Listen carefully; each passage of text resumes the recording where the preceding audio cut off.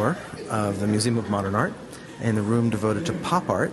And we're looking at a really great painting. It's, actually a really large painting. And it's not really a painting entirely. It's called Gold Marilyn, as in Marilyn Monroe. It's from 1962.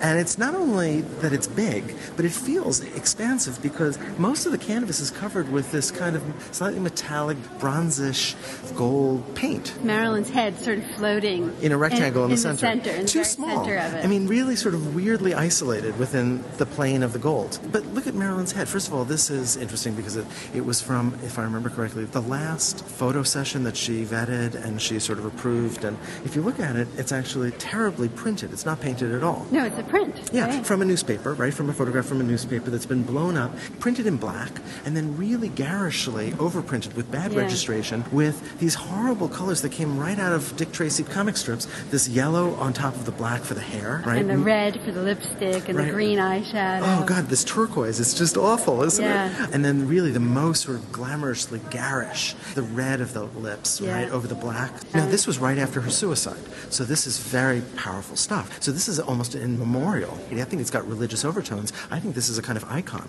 I think that the gold is functioning like the like the gold in a Byzantine painting, and she's replaced the Virgin Mary. She is in our consumer culture, in our culture of glamour, of fame, which was incredibly important to Warhol.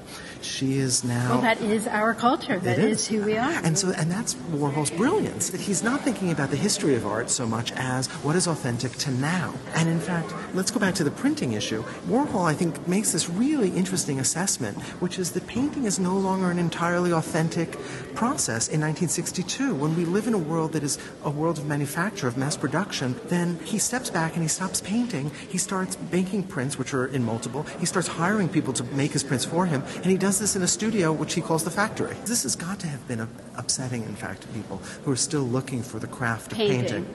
And worse than that, what Pop's main issue was turning the still life, the landscape, traditional history painting, what, what was left of it, all of those, in a sense, ancient traditions on its head and looking to popular culture. I mean, painting no longer the Virgin Mary, but a pop icon is an incredibly powerful, aggressive statement against Western culture. It was Lichtenstein who was asked in 19, I think it was 1961 or 62, what was pop art? And he said, you know, after abstract expressionism, we could take an oil-soaked rag, put it on the wall, and somebody would call it a work of art. We were looking for something that was still despicable. And he said the thing that was still really despicable was popular visual culture, Right. was the stuff of our the commercial low, world. low culture. Yeah. To me, this opens up a whole issue about identity and the way we assume identity. This is not Marilyn. In fact, we don't have any access to who she actually is at all. What we have here is her mask.